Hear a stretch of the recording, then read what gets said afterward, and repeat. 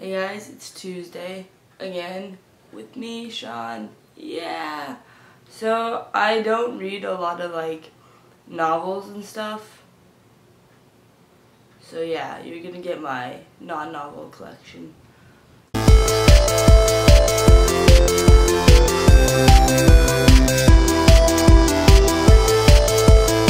I read a few books, like school books and stuff.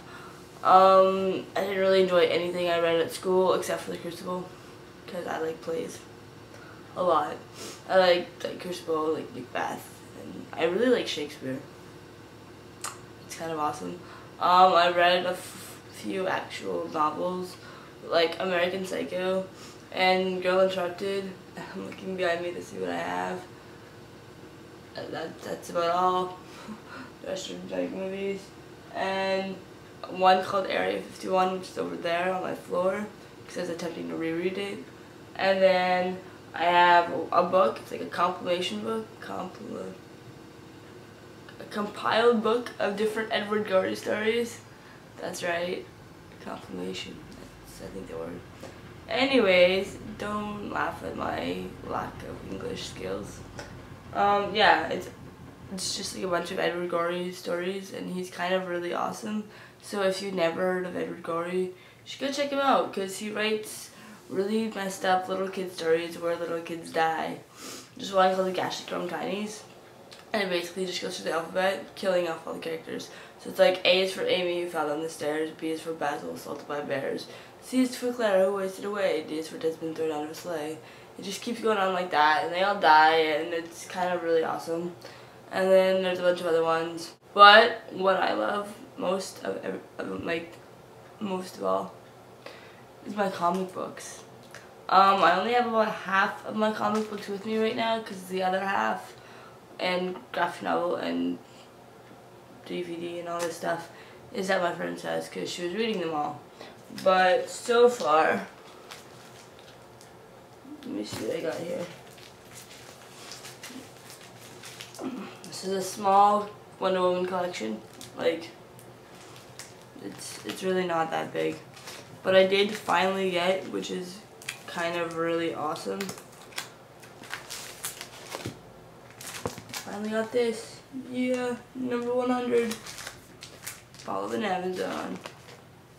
Yeah, she's fierce. Wonder Woman comics, so good. I have Invincible. Yeah, one about Krypton. But it's not that cool It's the first Krypton one. First issue of four issues. So I don't know, I'm gonna try and collect all four issues if I see them. But like, cause it's Superman, so it's gonna be worth money one day. I have some Transformers, cause I love Transformers, and this one's cool cause it's all in black and white. Then I have a really, really good series that I'm that, that, that started with all the different DC characters, and it's called Blackest Night. There's Secret Six, which um, the cover is kind of really hot. I'm not gonna lie. I'm really, yeah. And there's this one. Here's my next like pride and joy. I'm trying to collect all of the Flash comics. I don't have a lot right now because I just started, but yeah, Flash. Because basically my collection, I want it to be like all of the Flash and all of Wonder Woman. So yeah, I like comic books a lot, guys. I'll like, they're awesome. And I'm totally a DC kid over a Marvel kid. Like I like Spider-Man and stuff, but Batman and Superman and The Flash, Green Lantern and Wonder Woman and Hawk Girl. I just named the Justice League. Oh yeah, there's John too. But yeah. Justice League's awesome. If you guys like comic books, tell me your favorite comic book. You should do that. So like, comment below your favorite comic book. Anyways, stay gold. I'll see you guys later.